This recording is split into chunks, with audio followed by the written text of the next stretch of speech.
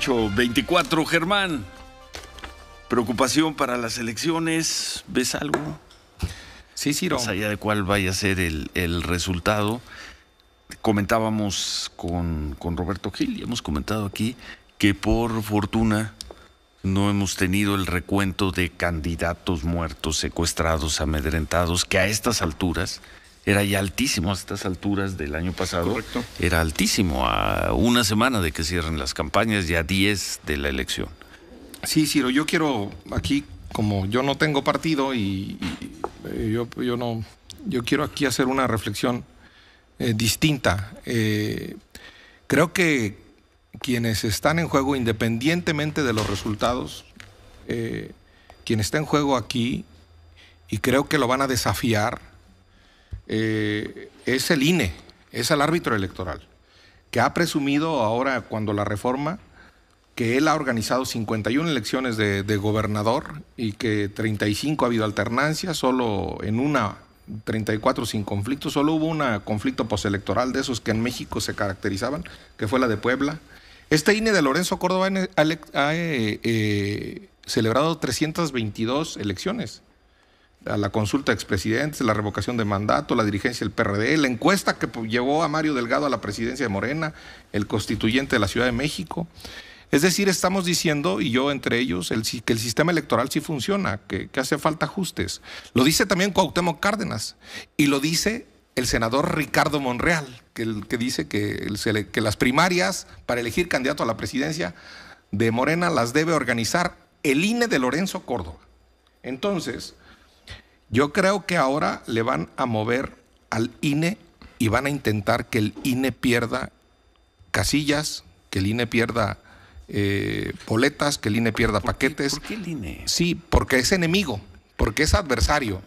Yo creo que el INE estará desafiado.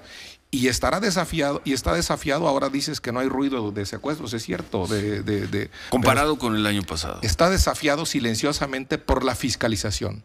El gran desafío se lo están poniendo los criminales, el dinero sucio, el dinero ilícito del el crimen en las elecciones. ¿En, en dónde este está país. ese dinero? ¿A quién se lo han dado? Ese dinero. ¿A Morena, a la coalición? El, el run run en el Senado, el run run en todos lados, es que hay elecciones. Y no solo el ¿Es run que hay run, qué? Es que hay, hay dinero, dinero, en las elecciones. De grupos sí, criminales. Y no solo el run run, sino Mario Zamora. Run, de run manera... que se da en todas las elecciones. No, pero nada sí. más que ayer Mario Zamora, de manera valientísima. Mario Zamora, el ex candidato de la coalición al gobierno de Sinaloa, gobierno el año pasado. advirtió con toda claridad que hay dinero eh, depositado en el extranjero y, eh, y que en ese sentido yo sí veo que hay preocupación y que el, el, el, director de la UIF eh, y, el, y si están peleados el director de la UIF y el, y el INE, pues bienvenida a la fiesta del dinero sucio si están peleados. Eso es el ¿Y desafío. El dinero sucio que está llegando a todos lados. Sí, dinero sucio es ilegal y puede haber dinero no, no, sucio. No, pero está llegando lo mismo a candidatos de Morena que a candidatos ah, opositores ah, a Morena. No lo sé. Mario Zamora decía aquí y lo dijo en esta silla, aquí contigo. Hace un año. Hace un año aquí que, que llegó a Sinaloa y que no había quien lo documentara. Y aquí en esta silla también lo dijo Silvano Aureoles en Michoacán. Entonces, ¿por qué en estas elecciones no va a haber? Y entonces luego van a culpar al INE del eh, complot para que las que no se ganaron de las seis de seis que dice Mario Delgado, pues fueron culpa del INE.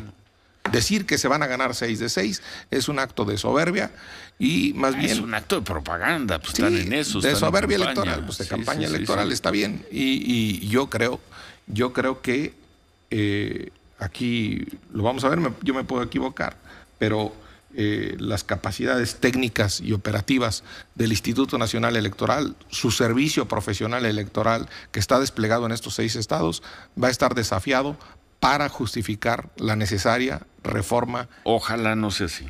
Electoral. Ojalá no sea así. Y yo no veo, si tenemos imágenes y las presentamos aquí, de que se están, grupos armados están robando casillas en algún lugar de, Tamaulipas uh -huh. o de Durango, pues yo no veo por qué eso va a ser responsabilidad del INE.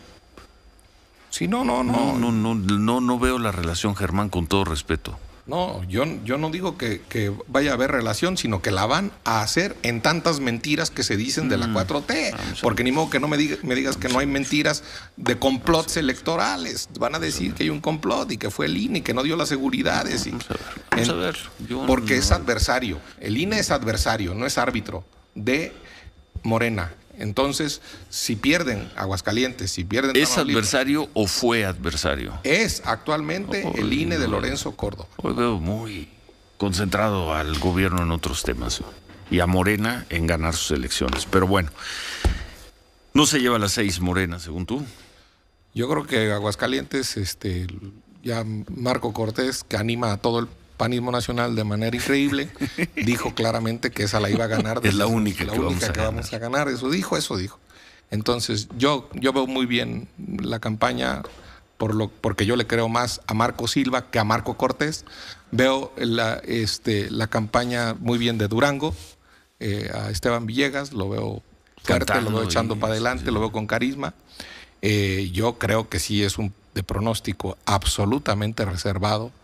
Eh, Tamaulipas. ¿Tú crees? Sí, porque Reforma la da muy abierta en favor de Morena. 30 puntos. 30 puntos. No van a decir que manipula eh, el Morena. Los del PAN no pueden decir que manipula Morena al Reforma. faltaba. O sea, yo. yo ¿Y entonces por qué ves cerrado si hay una ventaja de 30 porque puntos? les creo a, a los que eh, dicen aquí, entre otros a, a Gil, a Roberto Gil, que conoce bien, que, que está cerrada. Les, les creo a, ellos. Este, ¿Hidalgo? Hidalgo, debo decir algo de Hidalgo. Julio Menchaca es una persona decente, honrada, que no tenía ninguna necesidad de que le mancharan su triunfo. El señor Moreira, de, el señor Moreira, Moreira Humberto. Humberto, eh, disque apoyándolo o si es que lo está asesorando. La sola declaración del señor Moreira, el, el, el expriista, este, está manchándole el triunfo a Julio Menchaca. La sola mención de Moreira. Que es un buen hombre, según tú. eh, Moreira, eh, no. Eh, Menchaca, ah, Menchaca. Menchaca. sí, eh, sí, yo que Menchaca le diría a ese Moreira, no me ayudes, compadre. O sea, es un beso del diablo lo que le dio a Menchaca. Entonces, Mm. yo, yo creo que Menchaca es una persona correcta y que va a ganar. Y quedaría Oaxaca Quintana Roo y Oaxaca. Quintana Roo, donde Los gobernadores ya le dijeron a Morena hasta cuál embajador allá, cuál embajador. ¿Cuál embajada quieren? eh, embajada quieren? Carlos Joaquín y Murat. Murat ya debe haber Murat escogido dijo la que- embajada. Murat Quiere dijo que va a buscar la candidatura del PRI al Sí. 24. ¿no? Oye, Ah, eso dice, y pero- un, un dato sobre el PRI, ahora lo revisamos, a ver ahí en la redacción. Cuando empezó este gobierno, el PRI tenía gobernador, cuando empezó el gobierno del presidente López Obrador, tenía gobernadores, creo que en 17, 17 estados. estados, yo creo, en sí, 17, 17. estados. Ya perdió 13, trae un récord 13, 13 que han estado en juego, los ha perdido todos. Si pierde Oaxaca, como al parecer ocurrirá, y si pierden Hidalgo, el récord de 0-13 se irá a 0-15. Ujú. Y quedan dos. Les quedan dos que van a decir que sí las van a ganar el próximo año, el Estado de México Y y Coahuila. Coahuila. Aquí la pregunta es, ¿la estructura de un partido se puede mantener cuando traes una marca de 0-15? 0-15.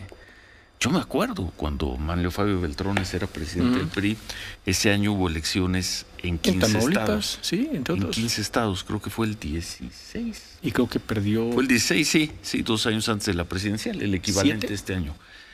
El PRI ganó 6 de 15 Exacto. y lo consideraron la peor derrota desde la que tuvo madrazo en la elección presidencial 2006 y Beltrones vino aquí también a esa Y silla. se fue, y se esa fue, silla claro. no solo se sienta el senador Germán Martínez, se han sentado algunos más. Bueno, vino aquí Mario, eh, Manuel Fabio Beltrones y dijo, me voy, porque no fueron los resultados. 6 de 15. El PRI es probable que se ponga 0-13. Y ahí está, como si nada, diciendo que están resistiendo a Morena. Y yo de seis solo gané Sonora. Bueno, también tú te fuiste. Y también- en el 2009. Sí, sí, sí. que me siento en esta silla. también. Sí, sí, sí, Muy sí, bien. sí. Un saludo al, sena- al ex senador Beltrones, sí, Sí, sí. es digno eso que hizo. Y, Y- con todo respeto, Rosario Robles dijo, si no alcanzamos creo que el 20% Sí. de los votos en la elección federal del 2013 y era presidente del PRD, dijo renuncio y renunció. ¿Sí, sí? En cambio en el PRI se van a poner, todo indica, cero ganados, 13 perdidos. Muy mal, Lalito.